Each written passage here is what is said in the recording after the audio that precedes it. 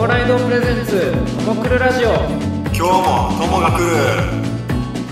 どうも皆さんこんにちは。ようです。こんにちはジョジョです。はい第17回目のともくるラジオですけれども今回はジョジョさんと一緒にお届けをします。よろしくお願いします。このラジオでは他の企画ではあまり話せないようなあれやこれやをゆっくり話していって蓬莱堂の雰囲気を伝えられたらいいなと思っています。はいえーいつも通りねゆるく話していこうかなと思ってますが、まあ、その中で、えー、蓬莱堂のイベント情報なんかも話していければと思いますのでぜひお聞き逃しなく。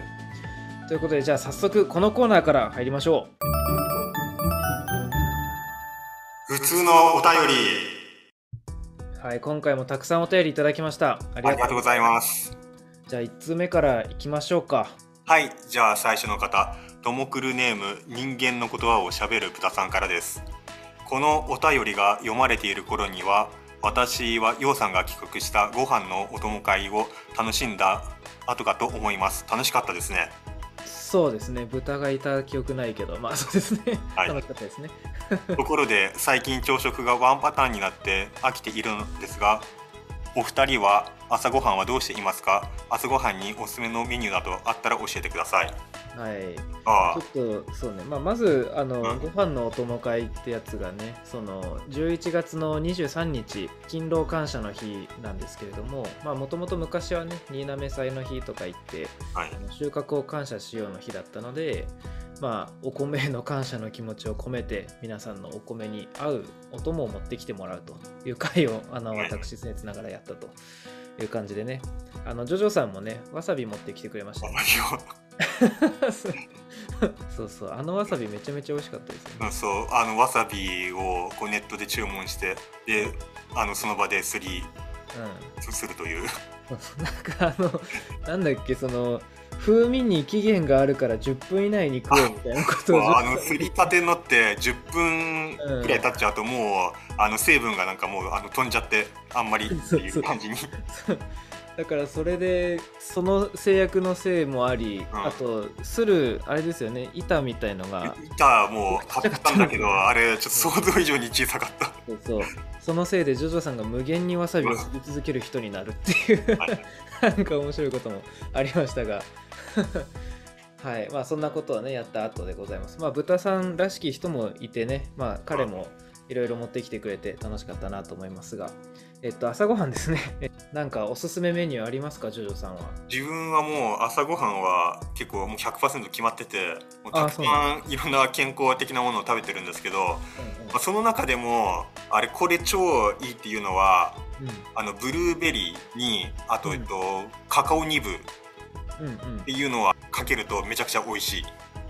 へえカカオニブ？カカオニブってまあなんだろうな。例えるとチョコレートを砕いた感じのあのあのやつなんだけど。はいはいはい。でまあ、えっと、チョコレートとは違ってこうあの砂糖があの入ってないのでうん。チョコっぽい感じはするけれどもそんなに甘くはないっていう。へえそうなんだ。それはやっぱ体にもいい的な。そう体にもいい。そうあのカカオニブはとブルーベリーは体にも超あのいいんで。うーんなんかよ最近一部の説でなんだっけ一日の中で空腹時間を16あ分のせみたいな、はいはい。ああいう話あるじゃないですか、はい。まあ別にあれを私がこう絞ってるってわけじゃないんですけど、あとうん結果的に私あの朝ごはん食べない人間あなあ結果的にそうなってるなって結果よく思うんですけど、うん。そういうのも健康にはありなんですか？ありだと思う。そう最近のそう多分この2021年のあの健康トレンドとしてはそれが相当でかい健康トレンドなんですかこれ。そう結構あのそう結構あの空腹うん。はあの体にいいっていう本とかも出版されてたりするんで、うんうん。そうそうそうそう、うん、だからまさにあのユオさんはそれを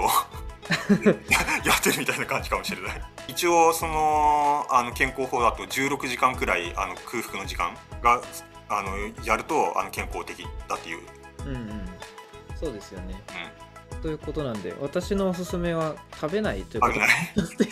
あのそうだね。食べないっていうのもな結構いいかも、けどねこれねやっぱこうその人にも結構よるかもしれない。やっぱあ朝ごはん食べないとうん。なんかもう全然あのダメだっていう人はやっぱ朝ごはん食べた方がいいかもしれないし。ああ。そのそういう方はあのブルーベリーとカカオニブをはい。ぜひ。ぜひ。めちゃくちゃ美味しいんで。そうですね。ということで、はい。はい。じゃあちょっと、普通歌はこれくらいにしとこうかな。はい。普通とはじゃあこれくらい。うん結構喋れちゃったので。はい。ということでね、ちょっと他にもあのいくつかいただいてたんですが、今回1通だけということで、ありがとうございました。はい、今後もね、あのたくさんお便りお待ちしてますんで、ぜひよろしくお願いいたします。以上、普通のお便りのコーナーでした。次はこのコーナこんな本知りませんか？このコーナーは皆さんからこんな本知りませんか？っていうお便りを募集してそれに頑張って答えていこうというコーナーです私たちでこれだっていうのがあればいいんですがなかなか浮かばないことも多いかと思うのでこちらは視聴者の皆さんにもご意見を募集したいと思いますお便りに対してこれなんかどうかなというのがあればぜひコメント欄に書き込んでいただければと思います。はい。じゃあまずは前回の募集に対して、まあ、皆さんからいただいた答えを、えーいくつかご紹介していきたいと思います。前回はともくるネームイノシシさんから動物について楽しみながら知ることができる、まあ、エッセイとか図鑑とかそういう本はないですかという投稿をいただいてました。はい。今回もですね結構いろいろ回答いただいたのでご紹介していこうと思います。では早速ともくるネームおからさんようさんジョジョさんこんばんは。こんばんは。前回の wanted 本について動物のエッセイを紹介しますクレア・キップスのある小さなスズメの記録人を慰め愛し叱った誇り高きクラレンスの生涯です。訳は梨木香歩さんで傷ついたスズメを拾ってからの12年間の生涯を語るノンフィクションです。うん。ありふれた鳥であるスズメの知性の高さに驚かされます。うん。12年の間には幸せも悲しみもありますが奇跡的なお互いの触れ合いに感じ入りました。うん。うん。スズメ確かに。はいスズメの知性とか全然考えたことないかもしれない。確かにないですね。その辺にたまにいる可愛いなぐらいしかあんま考えたことないかも、だから全然関係ない話ですけどはい。すっかり wanted 本っていう表現が定着しましたねなんか。そうだね。別にこっちからそういう表現確かやってないよね。そうそう別に指定してないんですけど、まあうん確かにいいですよね wanted 本って。求められている本だし、うん。なんかそのねちょ海賊味もあって。はいいいじゃないかと思います、はい皆さんぜひ wanted 本という表現ぜひ、はい。お願いしますください。はい。じゃあ次行きましょう。はい。えともくるネームメガネ虫食いさんからです。ようさんジョージさんこんにちは。じゃあ前回募集されていた動物について学べる本ですが川上和人さんの鳥類学者だからといって鳥が好きだと思うなよをお勧めします、うんタイトル通り鳥類学者の著者が鳥についてや鳥類学の研究の日々についてタイトルに反してたくさんの愛を込めて語ってくれているエッセイです。身近な鳥についての知識を学べさらに鳥の研究ってこんなこともするんだなといろいろな視点から楽しめる本です。ままた前回のゆかちゃんマンの紹介で恐竜に興味を持った方は同じ著者の鳥類学者無謀にも恐竜を語るを読むと鳥にも恐竜にも詳しくなれて一石二鳥なのでこちらもおすすめです。おおなるほどねもなんで鳥が好きだと思うなよってタイトルにしたのかっていうのがすごい気にうなる、うん、読んだらわかるんですかねこれ。そうかね、うん、そのタイトルだけはなんかね知ってるんだけど。うんそう。で中身はだってやっぱり鳥類学者だけあまあ、だしその鳥への愛がすごいねうん。あるわけでしょ、まあそうだね。あのタイトルに反してたくさんの愛を込めてくれって語っているってあるから。はい。はい。はいじゃあ次、えーともくるネーム夢見るうさぎが支配するさんです、うん。ようさんジョジョさんこんにちは。いつも楽しく聞かせてもらっています。さて、前回の wanted 本、動物について書かれたエッセイ図鑑についてですが、一つ紹介します。我ら動物皆兄弟、ムツゴロウ先生こと畑正憲さんの約50年前のデビュー作です。まだ動物王国は影も形もなく勤めていた学研を辞めて作家として初めて出した本作は実地に即した動物たちの生態を面白おかしく紹介していて後年のユーモアとバイタリティをすでに感じさせます。それとともに学生時代や会社員時代に知り合った生物やたちがいかにおかしな連中本人も含めてかも描かれていてそれもとても楽しいです。なるもうムツゴロウ先生のほど、うんうん。なんですね、そうですね。もう完全に自分なんかもうあのテレビであのなんか出てるくらいのことしかし知らないんですけど。私は自由帳の写真に載ってるです、あ、え 自由帳だけじゃないか、まあ、ノートのねあの表紙にねー、はい。ムツゴロウ先生とうん。あのなんかの動物っていうのがあ写ってる写真っていうのあ、が、うん。多分シリーズであってあ算数のノートにはムツゴロウ先生と何みたいなあ、はい。国語のやつはまた別の動物と一緒のムツゴロウ先生、はい。そういうのがあった記憶とうん。あとはあの私78年前ぐらいかなうん。ムツゴロウ先生リアルで見たんですよねえー、どこで？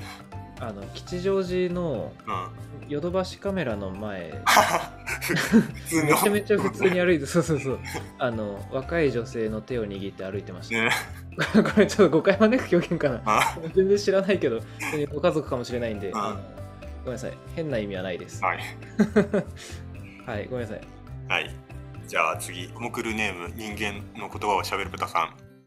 前回のウォンデッド本ですが、おじさん図鑑をおすすめします。はい。私たちが日常で出会うさまざまなおじさんを紹介しており、思わずこういうおじさんいるわとつぶやくこと受け合い、あれから もうあまり好かれないおじさんですが、これを読むと街中で見かけるおじさんが少し好きにになるかもしれません。おじさんは大切に。豚さんはなんかおじさんへの何か共感を得てしまもうこれをあの動物に書かれたこの本っていうので紹介してくれるのがお面白いです。ちょっとおじさんを動物おじさん。をおじさん図鑑ですからね。おじさんを動物として見てますよね。確実にそのうん図鑑なわけだし。完全に研究対象みたいにしちゃって、そうですよね。うん、やっぱ大切にしようって思えるかもしれないですからね。この本読んだら。はい。次行きましょう、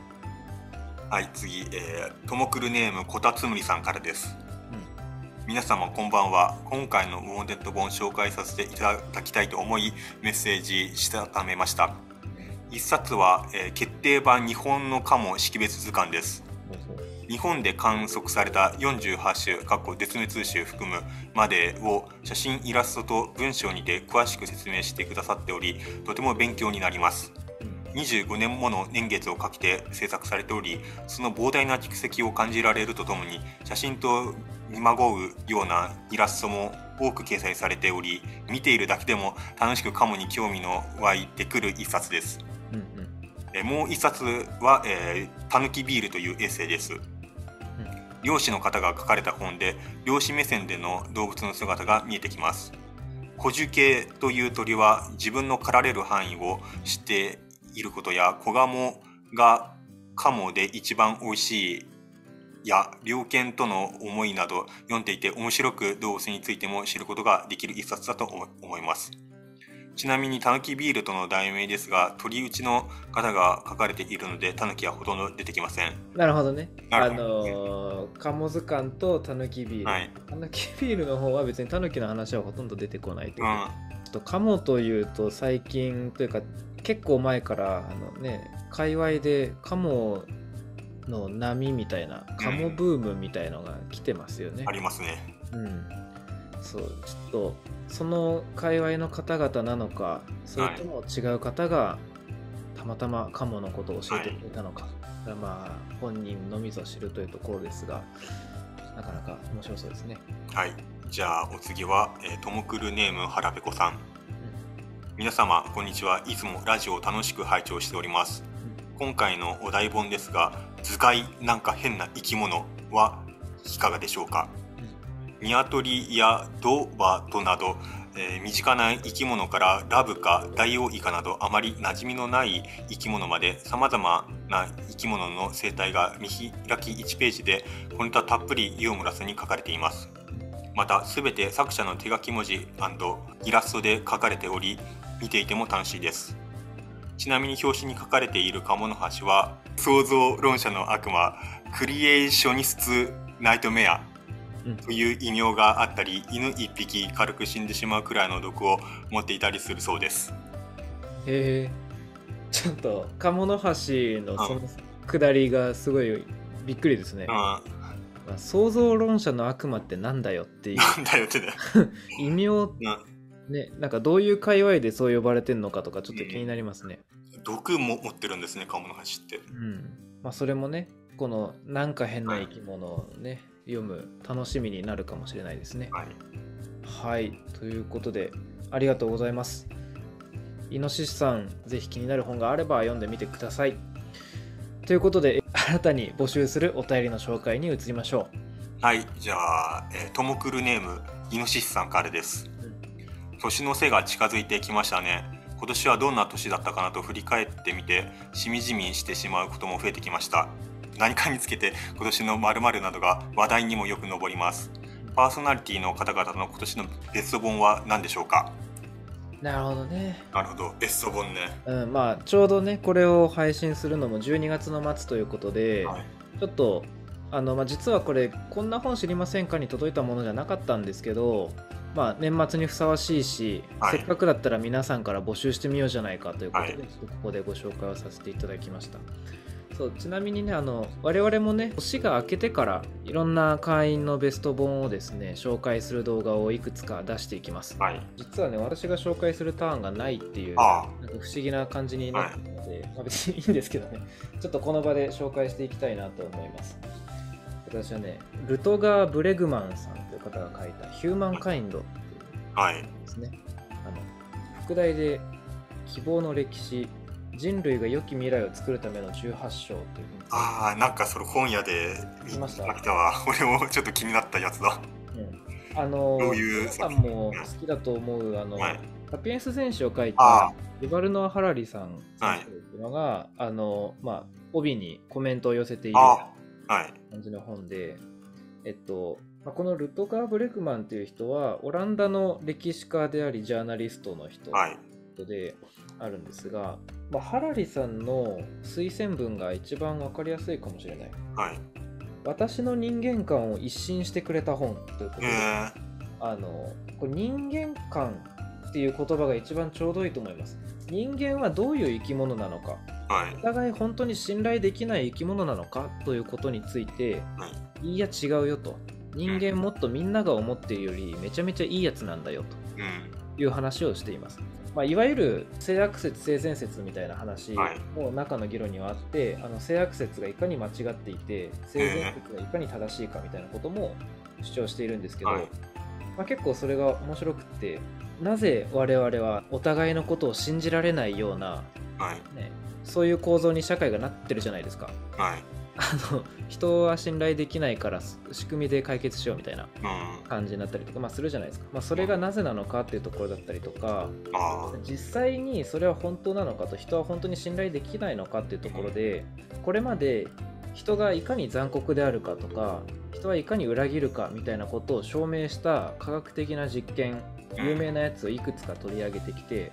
それが全部イカ様だったんだという話をえとうとうと述べていきます。例えばミルグラムの電気ショック実験とかが結構有名なやつであると思うんですけどどういう実験かっていうと、はい。囚人が椅子に座ってますっていう実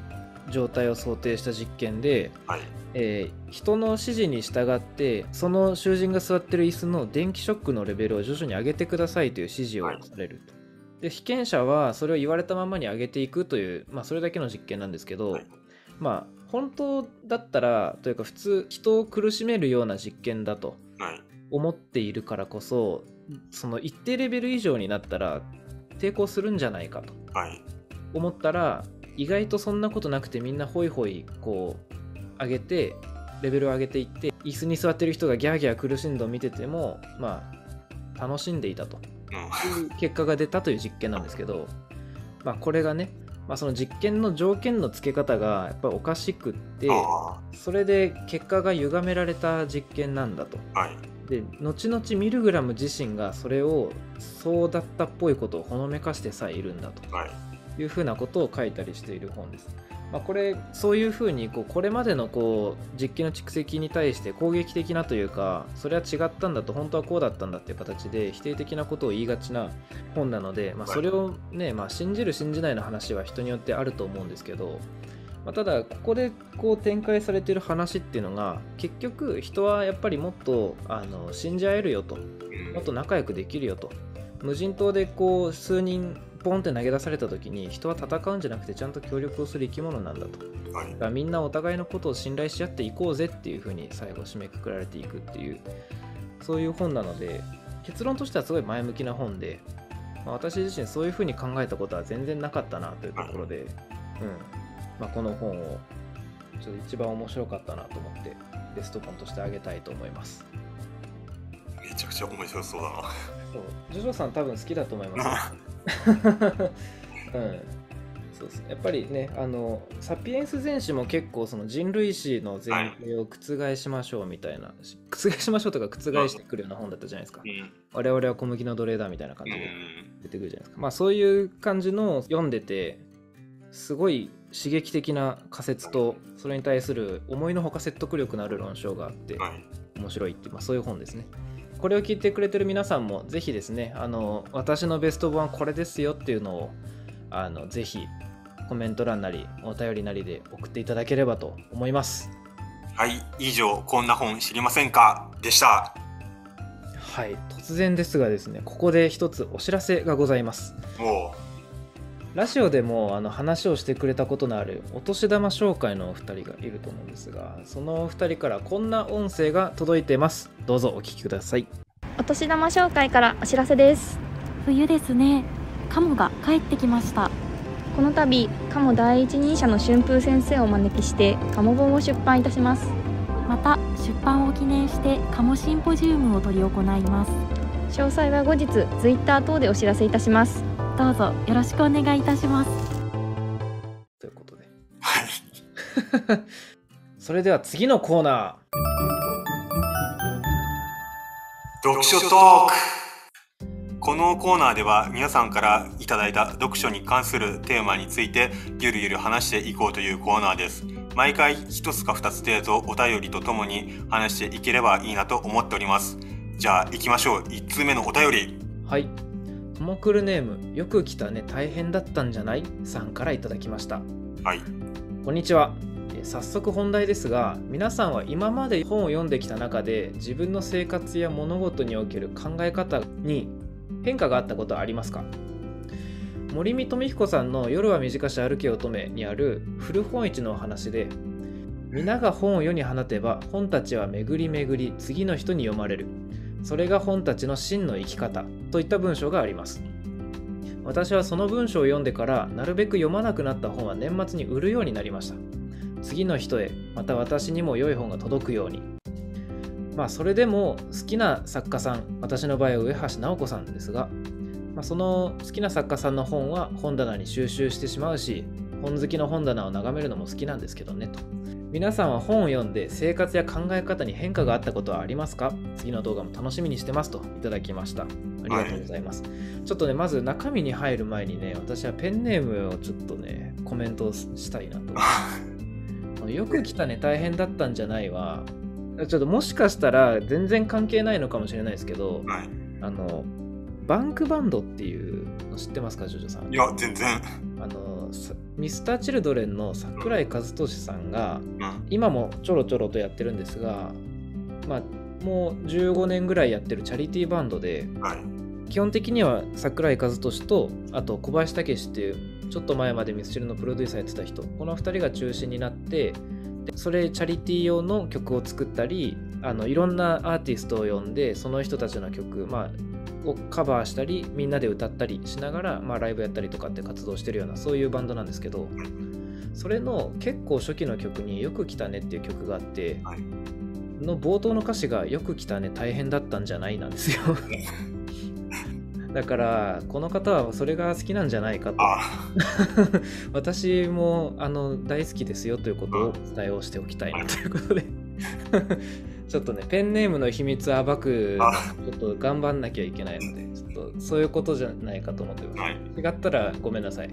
そうだったらこっそり教えてくださいはいはい、ということですいません。えーお便りに戻ると、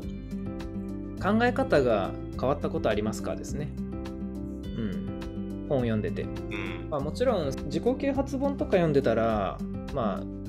むしろそそういうために本読んでんだけど、はいって思う方もね、まあ、多くいらっしゃるかと思うんですが、おそらくこの、まあ、お便りの趣旨としては、そういうつもりで読んでたわけじゃないんだけど、ふと偶然出会った文章にハッとすると。で、ちょっと考え方変わったなっていう、まあ、そういう経験があればっていうことなのかなと、ちょっと思ってますが、どうですかジョジョさん？そういう自のあります？分はありますね。あ自分はあの自己啓発系の本とかも結構読むんですけれどもうん。あの今回はそうじゃない本でうわこの考え方めっちゃすごいって思ったのはあのヤムチャさん。あっていう方が、はい、書いたあの哲学的な何かあと科学とかっていう本なんですけれどもこの中にあの哲学的ゾンビっていうことがあの書かれてあるんですね。はいはいはいこの哲学的ゾンビっていうのはあのどういうものかというとあの自分自身はこう自分のこの感情とかあの人格がこう存在するってこうちゃんとこうあのあの自覚ししてるじゃないですか。うんけどそれ他人に対してその人も本当に表面上は普通に生活しててあの感情とかこう出してるけどその人に本当に人格というものは存在するのかっていうあの考え方なんですよ。ほうほうほそうだからこう自分自身はこう自分というこの人格が存在するっていうのは、まあ、ちゃんとこう自覚ししてるから、まあ、証明できるけどうそれを他人に対しては証明することはあのできないんですよね。だからこの考え方を自分知った時あすげえなと思って。うんうん。ということはこう世の中こうなんかこう言言ってくる人とかあのいるじゃないですかうんうん。自分に対して。うん。いやけど所詮お前はあの哲学的ゾンビなんだってこう思うことによよって ちょっとこうなんかあうんっていう感じ。そう。お前はそう所詮哲学的ゾンビでお前にはあの人格っていうものは存在ししないんだよってね。そう思うことでちょっと自分のその心をよくできるみたいな。なるほど。ねそのなんか悪口かなんか言われてもそういうふうに考えてることでそれをいなせるというか。そう受け流していけるってことですはい。ね。で面白いですねその。考そうだからこの哲学的ゾンビっていう考え方はね自分にとってはね相当おすごい考え方だなここれはってねあのその時思いました。えうんうん。ようさんはあります？えっとね私もねちょちょうどねさっき言ったヒューマンカインドなんかはまさしく、はい。新しい考え方を知ったっていう意味では面白かったんですけどまあそあえてそれ以外でちょっとご紹介をしようかなと思はい。トム・ボス、えーとレベッカ・アングエンという人が書いた「機関兵の戦争が終わる時」という本です。はい。創始者から出ているんですけど、まあ、あのイラク戦争に従軍をして、まあ、自分もその戦争の中でね人を撃たなきゃいけなかったしあと目の前で仲間を殺されている。はい。でそれでただ自分は何とか生き返って帰ってきたという、まあ、このトム・ボスという人がまさにその人なんですけどその経験からもうずっと立ち直れなくて暮らしていくことができないみたいなもうあらゆることができなくてもうずっとそれに苛まれている状態だったわけですね。はいでまあ一応頑張ってこうなんかセラピー行ったりとか薬やったり酒やったりあのなんだドラッグにも手出したんだけど全然それも役に立たなかったと。でただある時ふと思い立って俺は旅をするんだと言ってはいあのまあちょっとお手元に地図ある方はアメリカの地図見てほしいんですけどウィスコンシン州のミルウォーキーという場所からロサンゼルスまで約4000キロの道のりを歩くという旅をするんですね。でその時の、まあ、旅の記録っていうのがザーって書かれた本ということになるんですが、その旅やってるのは割とねその4000キロってだいぶ頭のおかしなというかその間山も越えるしあの季節は変わるし何回か死にかけるんですけどこれが何かっていうと moral injury って呼ばれる言葉があってはいまあ心の傷なんですけどそのそういうタイプの心の傷の癒し方みたいなところがまあ描かれるというか、はいまあトムがどういうふうに自分のその傷を癒していくかという過程がまあ書かれた本だということになります。でまあ moral injury って何かっていうとあの何か自分がやってしまったことあるいはやらなかったことについてもっとこうするべきだったのに俺はできなかったしなかったあるいはそうじゃないことをやってしまったということで深く傷ついて、まあ、悔やみ続けること。はい。それを言うんですけど、まあ、だからこのトムで言うとあの仲間特に仲間が殺されたということに対してもうあの時俺がもうちょっと違う行動をしてれば仲間は助けられたんじゃないかとかいうふうに思ったりするんですね。これね、えっとそういう感情を抱くことってまあひ人を殺す経験はみんなないと思いますけど、うん。あのまあそこまでじゃなくても何か思うことっていうのはあると思うんですよね。やっぱり誰かがこう何かこう苦しい思いをしてる人を見た時にそこに何も自分ができなかったなって思ったりとかそういうことってあると思うんですけど、まあ、そこをどういうふうに向き合うか。もちろんそのあの薬とか酒とかドラッグっていうのは結局そのそういう感情自体には何もこう対処しないわけですよね。心の中のまあ、何かホルモンとか変えるとか、ちょっとその場しのぎの気分転換をするとかその程度にしかならないものなんですけど、まあ、ただこの人が歩き倒したことでなんで歩いてるのか最初自分でもよく分かってなかったんですけど徐々に徐々にあの分かってくるんですね。で歩く中で自分が今までどういう考え方に縛られていたかということも徐々に気づき始め、でその中でいろんな人に助けられていったりいろんな人にいろんな言葉をかけられていく中でまたその自分の考えていたこう価値観とかが少しずつこう、まあ、変わっていくというか相対化できていくっていう過程の中で徐々に徐々にあ自分はこういうふうに考えなくてもいいんだということにあの4000キロかけてやっとこそ気づいていくということなんですけど、まあ、これ見て思ったのが、まあ、このね話の暗夜の途中でどっかの山の中だったと思うんですけどその山の中でこう漁師かなんかやってる人に言われた言葉があるんですよ。自分が経験した戦争の意味付けも自分の心の癒す責任も自分で負わなければならないと。いうふうに言われるんですね。でトムはそれを言われてそうなのかと。もちろんこの言葉からやっぱり分かるのはさっきちらっと言った通りドラッグとか薬とかそういう外からのもので癒してくれと俺を癒してくれっていうんじゃなくて、はい、ここは自分で何か乗り越えなきゃいけないんだと。でそれを知ってじゃあ自分と向き合わなきゃいけないんですねということになった時に私がこれ読んでてすごい感じたのが向き合うってこうやってやるんだということ、うん、あの歩くとか、まあ、実はこれこの後歩いた後にあのちょっと実は瞑想にはまるっていうのもあるんですけどでなんかそこからヒンドゥー教の人に支持して宗教的な出会いをしてそっちでテンション上がっていくっていう最高値になってくる。ので、ちょっとそれはそれでなかなか弾けた転換の仕方をしたなと思ったんですけどまあ少なくともね歩くという行為もその向き合うということにおいて一つ重要な役割を持ってたなと思ってて、なんか自分と向き合いなさいってよく言葉では言うけど、